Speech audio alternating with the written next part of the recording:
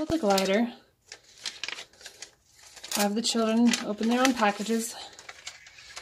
There's going to be a long portion, a short portion, and a fuselage. These little tiny things are little punch outs, and they will need to come out first. Have the kids sort of explore what this is. And the little ones will need help with this, especially the nose cone. But first of all, we're going to do the tail. It goes in aerodynamically so that the wind hits it like that. Your wings, same thing. They're going to go here and into the glider. And last up is the nose cone.